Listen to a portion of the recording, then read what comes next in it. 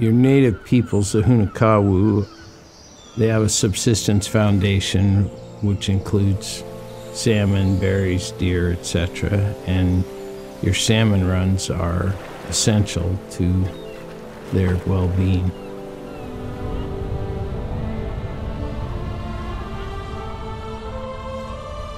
Working for a native corporation, our guiding principles, the lead is to maintain our land in perpetuity, and we also have to perpetuate our culture and land through prudent stewardship. So there's a real focus of our efforts on our land base and the long term view. And so the partnership with NRCS is part of that long term view. We take our responsibilities for land stewardship seriously, and these are how we put our efforts into it.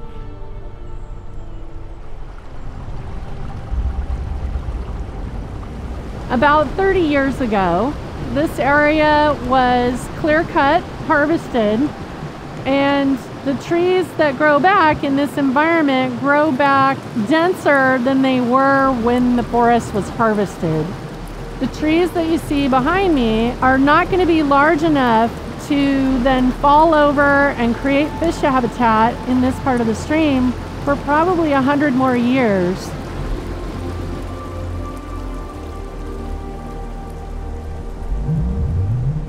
Currently, you know, based on just state surveys, like 90, I think two or three percent of people use salmon as a subsistence resource in Hoonah. They rely on it to for their livelihood, for protein. Uh, we still have a pretty large commercial fleet in town as well, with local fishermen doing purse seining and power trolling, hand trolling. So kind of the whole scale of small fishermen to large fishermen. When it comes to stream restoration, there's stands in Hoonah where um, logging occurred before Forest Practices Act with mandated uh, buffers on the streams. And so sometimes those streams got logged over, um, and that changes over the, say, 30 to 40 years. The stream starts to just change based on the fact that there's no wood falling into it, and there's less and less favorable conditions for salmon. Now we're going back in, recognizing that the wood contributes a variety of different habitat features for fish and other aquatic organisms.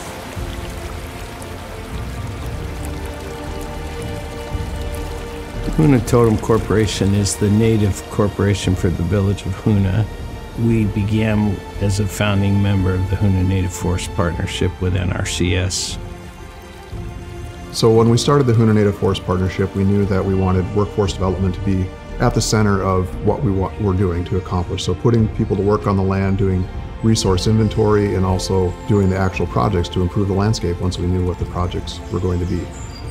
And so, as part of this overall restoration effort for the whole watershed, NRCS worked with the tribe, the landowner, which is an Alaska Native corporation, and the Forest Service to install large pieces of wood in this stream where there were none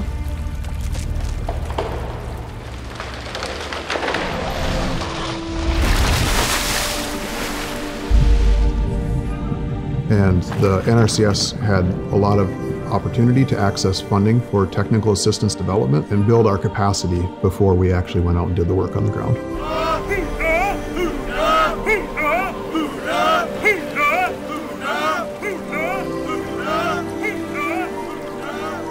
The creek is a cataloged fish stream for salmon and trout and Dolly Varden char all of which are really important not only for recreational use, but also for traditional and subsistence use for people who live here and have lived here for thousands of years.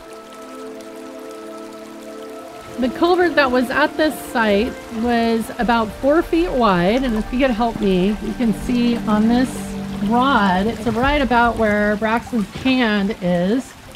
And so we replaced that undersized culvert with this much larger arch culvert that has a natural stream feature. So there's now diversity of habitat features that are used by salmon and resident fish at different stages of their life cycle.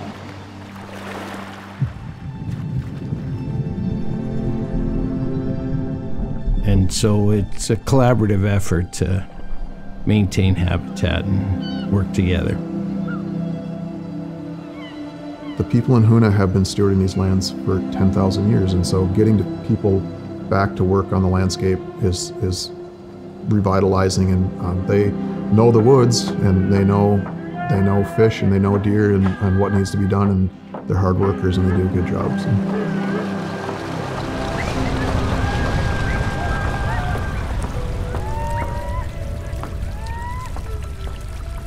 I think because we're grounded in our local village and our local economy, coming together with the resource agencies, the tribe, the company, the school district has been a unique opportunity to to pull together and harness and get things done in the field. So it's very satisfying. Everybody kind of pitches in to get the job done.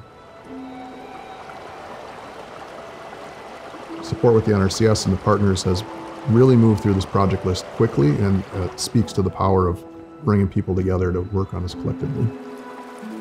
All of these different entities came together to work as the Hoonah Native Forest Partnership to improve fish and wildlife habitat throughout Hoonah.